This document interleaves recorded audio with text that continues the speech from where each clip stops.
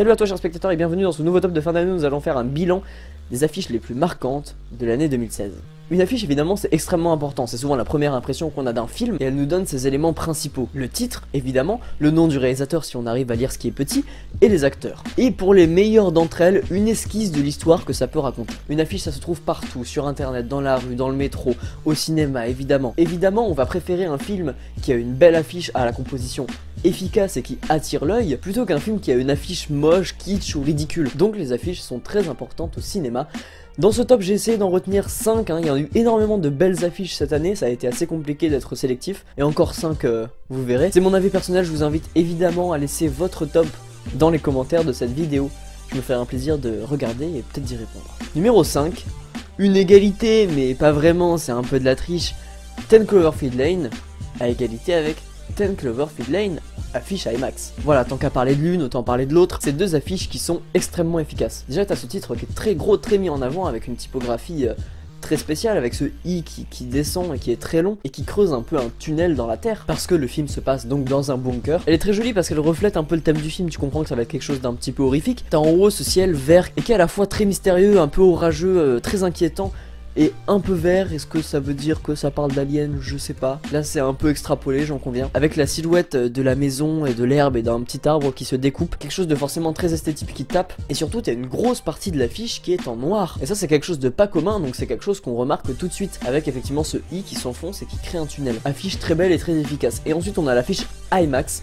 Alors les affiches IMAX c'est un petit peu hors compétition mais tant qu'à parler de Ten Cloverfield Lane autant parler de l'affiche IMAX. J'ai dit que c'est hors, compétition parce que c'est des affiches qui sont pas trop euh, placardées partout. C'est des affiches qui circulent surtout sur le net et en plus elles sont particulièrement belles la plupart du temps. Là on voit le personnage principal enfermé dans la boîte aux lettres de la maison de Ten Cloverfield Lane. T'as ce même ciel inquiétant, des couleurs euh, très sombres qui marchent très bien. Forcément c'est une affiche qui tape, qui est efficace et qui intrigue. Et puis sur la première affiche t'as ce slogan, hein, un monstre peut avoir plusieurs visages, qui est pareil, assez intrigant et qui résume assez bien le film. Numéro 4, Hacksaw Ridge, le tu ne tueras point. Pour le coup, c'est une affiche très épurée qui tente le tout pour le tout avec juste un visuel presque et le titre. On voit le personnage principal de Desmond Doss tout petit au milieu d'un grand champ de bataille qui le dépasse tellement, qui court hein, pour sauver des vies, entouré de cadavres tout autour de lui, enfin quelque chose d'assez macabre, et en même temps une couleur euh, marron dure. C'est vraiment au cinéma ce genre de couleur qui est associé à la guerre. Et je parle du fait qu'il est écrasé par euh, par un champ de bataille très dur, mais en fait c'est pas vraiment le truc le plus important de l'affiche. Il est vraiment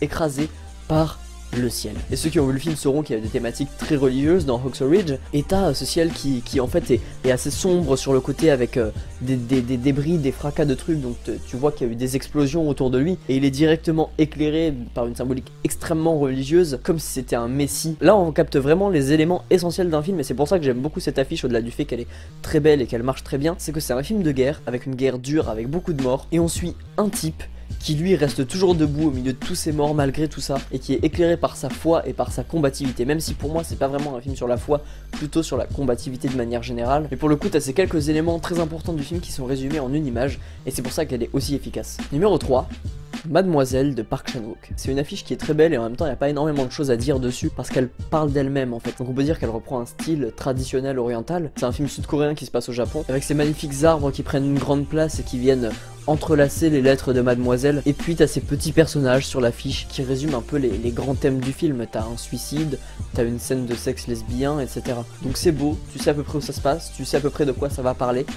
C'est efficace. Numéro 2, High Rise de Ben Whitley. Et j'ai envie de te dire, toutes les affiches de ce film. Toutes les affiches de ce film sont ouf. Par exemple, si on en prend une, bon déjà il y a un côté très esthétique qui ne vous échappera pas, un travail de la symétrie, un travail des couleurs, ces couleurs très mates mais à la fois très très belles, un contraste chaud-froid avec ce, rouge qui vient d'en bas, les différents personnages du film à différents niveaux, chacun adopte une attitude qui résume en gros la personne qu'il est dans ce film, et surtout Tom Hiddleston, le personnage qui est, au milieu, qui, qui sait pas trop comment gérer tout ça, avec sa tête de, de ce que je fous là moi, et puis en fond Jeremy Irons euh, qui est un peu euh, euh, le big boss, hein, qui a son œil sur tout ça, c'est quelque chose de très classique, hein, de voir un peu le méchant qui a son œil sur, le reste, c'est un travail de composition très classique, mais là c'est très très bien fait avec ces, triangles. Il est mis dans la même case qu'un cadavre qui tombe, donc je spoil pas le film, mais il a causé un peu indirectement cette mort à travers à travers son, son œuvre. Donc l'affiche est extrêmement belle, elle résume assez bien les personnages parce que les personnages c'est vraiment le, le, truc le plus important du film. T'as plein de personnages hauts en couleur qui ont chacun un rôle très spécifique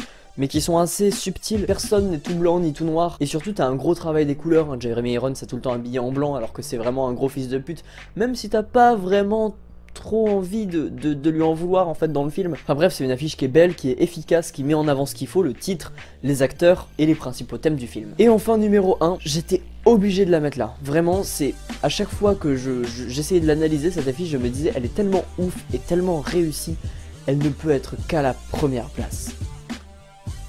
The Neon Demon de Nicolas Winding Refn. Alors pourquoi The Neon Demon en première place? Pourquoi cette affiche est à mes yeux la plus réussie de l'année 2016 Parce qu'elle a tout compris. Déjà, première chose qu'on peut noter, première chose qui saute aux yeux, gros travail des couleurs. Il y a des couleurs bien distinctes qui sautent bien aux yeux, qui sont très marquantes. Pas trop de couleurs, on s'éparpille pas trop, on a trois principales trois qui dominent, l'or, le bleu et le rouge. Donc c'est des couleurs vraiment qui sautent aux yeux, surtout le doré. Ensuite, tu as une très bonne composition. Tu as ces rideaux dorés de chaque côté, avec du bleu, le centre Elfanning en doré et du rouge. Donc évidemment Elfanning est très mise en avant par tous ces éléments, le fait qu'elle soit en doré, le fait qu'elle soit au centre de l'affiche et le fait qu'elle soit plus blonde et plus belle que les limites légales le permettent. Donc déjà, boum, personnage très mis en avant et puis très belle, donc forcément ça donne plutôt envie de voir le film. Et entouré de couleurs tapantes, tout qui donne une, une affiche pour être esthétiquement très réussi et très marquante en fait. Mais on a également les thèmes du long métrage qui sont présents sur cette affiche. Le fait qu'elle est très éclairée comme ça, ça montre aussi qu'elle est sous le feu des projecteurs. Elle écarte littéralement des rideaux, donc euh, vraiment elle se met sur la scène, elle rentre en scène. Elle est au centre, donc particulièrement importante. La police aussi du titre, hein, c'est écrit avec des néons. Alors oui, Nicolas Winding Refn et les néons, c'est une grande histoire d'amour, mais là évidemment il y a les néons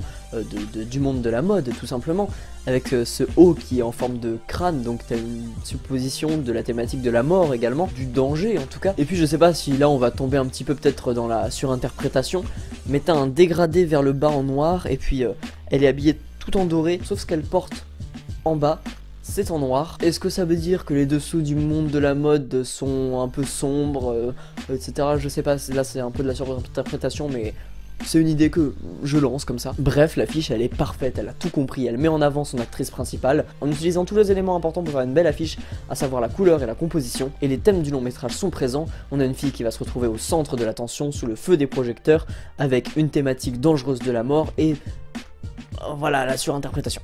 Et puis évidemment, c'est une affiche qui, grâce à ses couleurs tapantes, marque et tape dans l'œil et tu t'en souviens. Et voilà pour ce top 5 des meilleures affiches de l'année, je vous invite à mettre le vôtre en commentaire. En tout cas, j'espère fortement que ça vous plaira. Je remercie vraiment Valentin Bréheret pour l'invitation. Maintenant, euh, c'est un peu euh, ma deuxième maison, sa chaîne. Hein. Ça fait euh, trois vidéos en un mois que je fais sur sa chaîne. En tout cas, c'est toujours un plaisir. Moi, je vais y aller. Je vous invite à aller voir des films parce que c'est bien d'aller voir des films. Salut